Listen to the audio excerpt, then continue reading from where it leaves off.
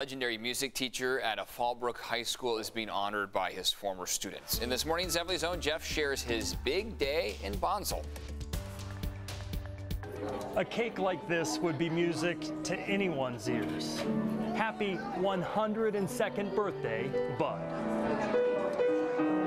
It's not often you see fingers more worn than piano keys. Where does the time go?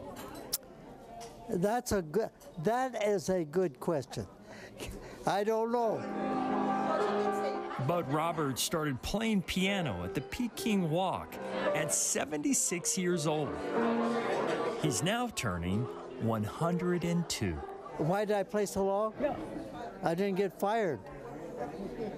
After joining the Army and fighting in World War II, Bud became a music teacher. Hello, darling. Rosa was his choir student Oh, hi, Rosa. Come ba. in 1974. Everybody knows him in Fallbrook. yeah, he's, he's an icon.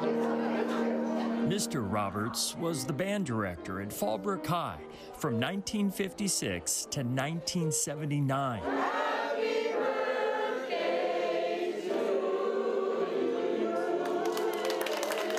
The restaurant couldn't hold all of his adoring fans.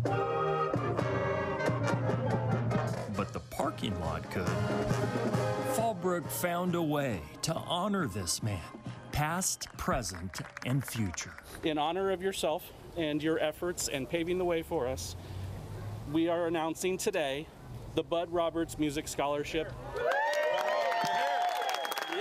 Jerry Sayer was Fallbrook High's drum major in 1970. Bud, I haven't seen this much commotion since Bono was in San Diego. He's just a treasure. What is his legacy?